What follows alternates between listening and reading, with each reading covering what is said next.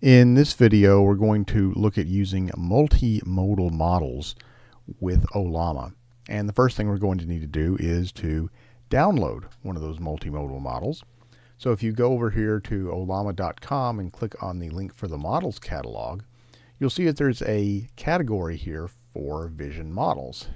If you click on that, you'll see a list of the vision models that are currently available. And some of them are general purpose models like uh, Gemma or I think, yeah, there's a Mistral model down here. Uh, but the one that we're going to use today is called LLaVa. So basically it's Llama, but for, for vision. So at any rate, I'll click on the link for llava and I can see I have a 7 billion, 13 billion, and 34 billion parameter uh, options. But I'm just going to use the 7 billion today because it is because it's going to be smaller and easier to work with. So if I go back over here to Visual Studio Code, where I already have Ollama up and running, I can simply say Ollama pull llava. And this will take just a few seconds, but I'll probably speed it up through the magic of video. All right, with that done, I can now say Ollama list, and I see that llava is in there, and I can say Ollama run llava. And it'll give me a prompt. Now I have some pictures over here and I've given them numbers instead of names so that it doesn't look like that llava is getting a hint about what's in the picture from the name. We'll start with this one here, 03. You can see that we have a deer drinking out of a um, river. And so what I'll do is I'll just start off with something simple. We'll say describe this image. Now what I have to do is I have to tell uh, the model the location of the file. And since I'm in the same directory here, I can just say dot for the current directory and then 03.jpg. Now it's going to say that it added the image to the input and then you'll see what we get back. Shows a fawn, young deer family, drinking water from a small stream, brown spots, white ears, and so on. Let's look at a different image here. So here we have an image of some of some eggs. So I'm going to do is just to be safe, I'm going to clear out the context. And then I'll start off and I'll say, uh, describe this image. And I'll pass it the path of the image.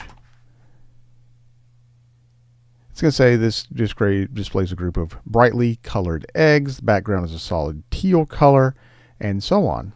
Well, what I can do is I can now begin to ask more questions about this image. And I can say, uh, how many eggs are in the image? And it says there are three eggs. Now, why does it say three? Well, it's talking about these three right here. Probably this one it's not, it's not referring to. Um, even though it looks like there may even be some more, but there are definitely three.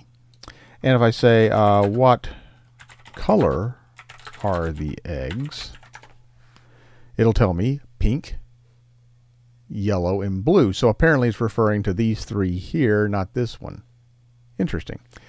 Uh, if you got a, if you had a more advanced model, then it might that might be more accurate. But again, this is using the smallest model for simplicity here. If you're enjoying this video and want to see more, click the subscribe button. Also, don't forget to hit the like button. To be notified of future videos, Click the bell to know as soon as new videos are published. Let's take a look at this picture now. This picture of two ladies, and I could ask something like, how many people, whoops, I need to clear my context first. How many people are in this image? It says, oh, guess what? You have to give it an image It says there are two people in this image, and there obviously are.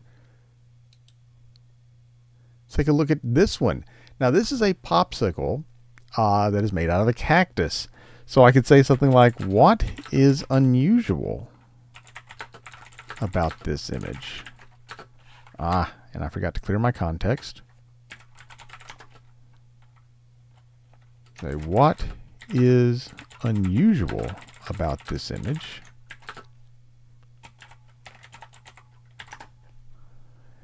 Says a cactus with spikes has been artificially modified to resemble an ice cream popsicle. Unusual in nature because the cactus would not have the characteristics of an edible treat. Uh, one last thing here. Let's see about. Let's see how I can do with text. So let's say let's clear. Let's say, what is the text in this picture? And we'll feed it seven. Says I made a mistake. Mistakes help me learn. So it can also transcribe. It can also transcribe text. Now, there's one other thing.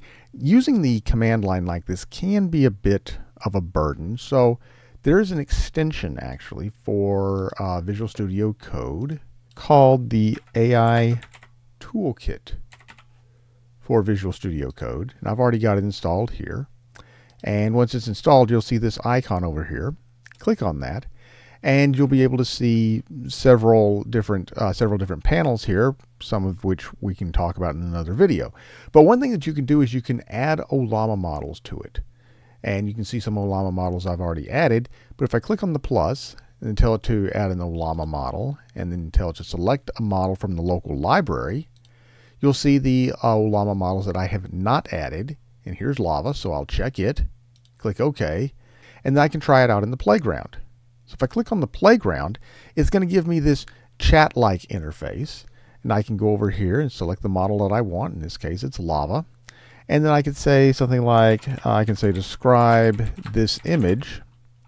And then instead of having to include the path, then I can select